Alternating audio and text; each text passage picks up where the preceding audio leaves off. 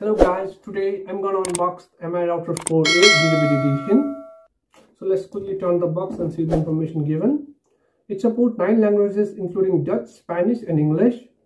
And it's a AC1200 dual band Wi-Fi dual band Wi-Fi router with 2.4 GHz and 5 GHz band dual band support.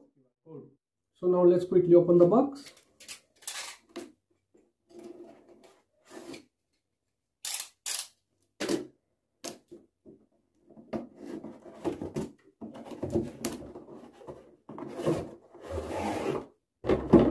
We'll welcome with the router itself firstly.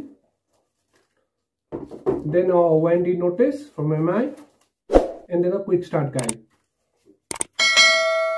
Then a power adapter which is 12 volt 1 amp and then finally a cat 6 cable so that's it in the box so and let's set this aside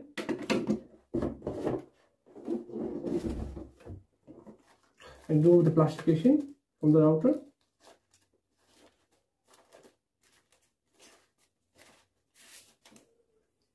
so it has a four uh, four antennas two for the 2.4 gigahertz and two for the 5 gigahertz band. And then uh, two uh, outbound internet ports and one inbound internet port and a power plug for a power adapter and then a reset button.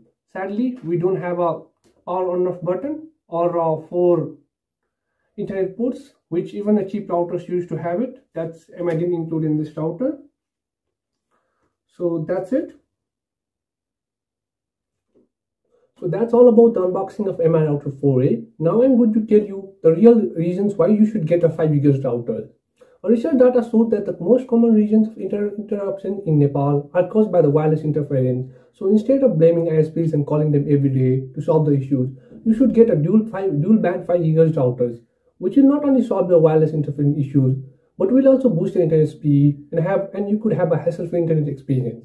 So and if you don't want to buy a 5 years router and don't want to spend in a 5 years router extra money, I suggest you to change the channel of your wireless routers to 1, 6 or 11 as these are the non-overlapping channels and uh, this could minimize the wireless interference in your uh, network. So that's it for today. Thank you.